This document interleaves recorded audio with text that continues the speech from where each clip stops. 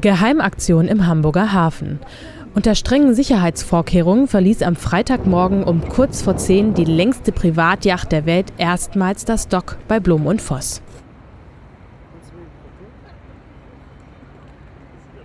Den Luxusliner hatte der russische Multimilliardär und Eigentümer des Fußballvereins FC Chelsea, Roman Abramowitsch, in Auftrag gegeben. Der Bau erfolgte unter strengster Geheimhaltung und auch der Stapellauf sollte unter striktem Ausschluss der Öffentlichkeit erfolgen.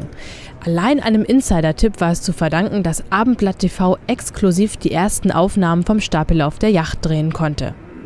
Aufgrund der strengen Geheimhaltung ist die genaue Länge der Yacht bisher unbekannt. Sie wurde auf 160 bis 170 Meter geschätzt. Dabei ist das Schiff etwa so lang wie die MS Deutschland und gut 50 Meter länger als die MS Bremen.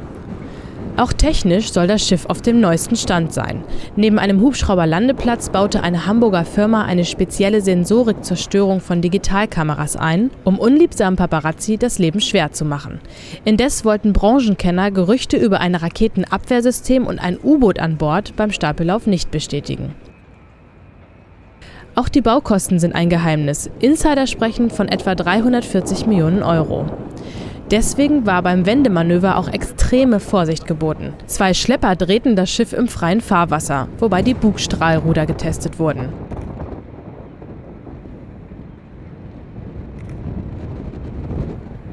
Nach seinem Ausflug wurde das Schiff an einen abgeschirmten Liegeplatz geschleppt, wo weiter Bauarbeiten bis zur Übergabe an den Eigner im Dezember erfolgen. Ob dann Roman Abramowitsch die Yacht in Empfang nehmen wird, ist übrigens ungewiss. Nach Abendblattinformationen soll der finanziell angeschlagene Ölmulti bereits über einen Verkauf der Luxusjacht verhandelt haben. Unklar ist allerdings, wer der neue Eigentümer werden könnte. Nur so viel ist sicher. Er wird an Bord viel, viel Platz haben.